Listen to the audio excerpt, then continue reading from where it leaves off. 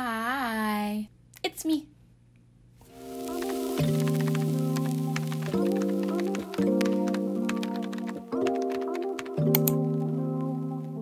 So, you may be wondering what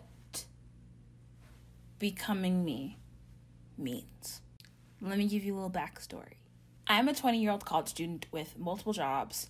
Beyond that, I am a 20 year old person trying to figure out who she is and all that comes with that. Crazy enough, I think for the most part I've got it. Um, but that doesn't mean that there are not areas that I can improve on, and there are many areas that I can improve on. And how I see it is improving parts of your life does not mean you need to change who you are to do that. That means that you're going to become the, the, the best version of yourself, right? I'm becoming the best version of myself um, actively by doing certain things. So that's what becoming me is about. It is about me taking these certain aspects of my life that I have really analyzed. What are the things that I can fix in my life right now that will aid in me being who I want to be? And a realistic version of who I want to be, you know? Not the perfect version of me that wakes up at 7 a.m. every day and eats clean vegan seven days a week and does um, 36 hours of homework every day. That's not going to happen. But you know, there are a lot of things that I can do to make it so that those things can become a possibility one day. And there are also some things that I want to do because I want them. Like, I want to decorate my dorm because I feel like I should live in a space that I like being in.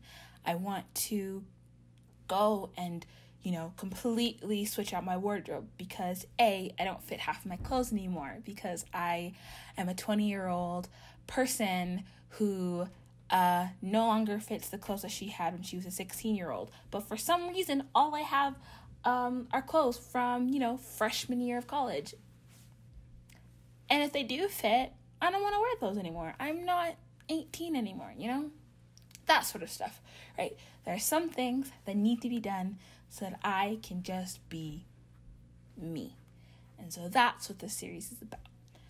And so there are three aspects of my life that I decided that I really wanted to focus on, which were personal, like, you know, my personal health, um, mentally and physically, and, you know, the way that I interact with the people around me, the way that I interact with myself, the way that I interact with my body, and the way I interact with, you know, the craziness that is happening up in this brain of mine. The other thing is my space.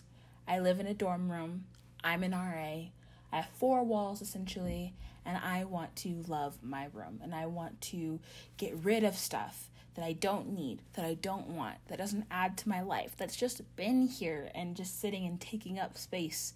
Um, I'm gonna get rid of that. I want to bring in stuff that makes me feel, you know, like I want to be in this room. Because sometimes I don't want to be in this room. And uh, it's hard. That's a conversation for another day. And then the next one is style.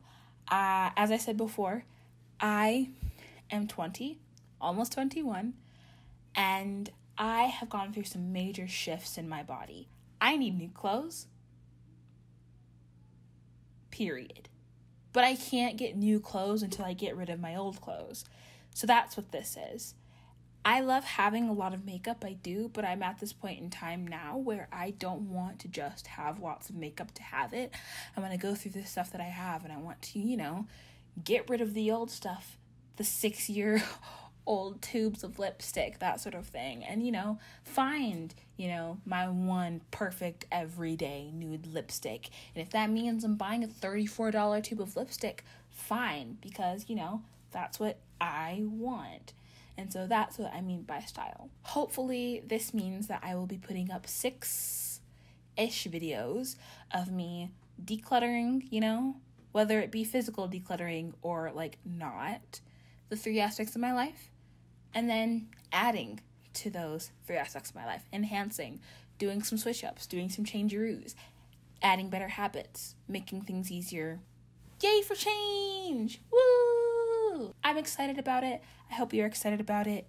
Um, if you feel like you want to do this too, you really can. It's for everybody. Sometimes I think we need to do a little bit of overhaul, you know, to get to the next step. And so I want to be an adult. I want to be adult Asante. And Asante, who's an adult, does this. I've decided. So um, that's that. And yeah, I hope you're having an amazing day. Um, like, subscribe, leave a thumbs up. My Instagram is at Asante Marie. If you want to follow it, my Twitter link is down below. Thank you for watching. And um, this YouTube thing is actually getting a lot easier.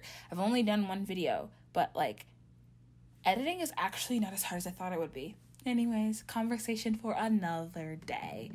Um, have a wonderful day. I will see you in my next video. Bye.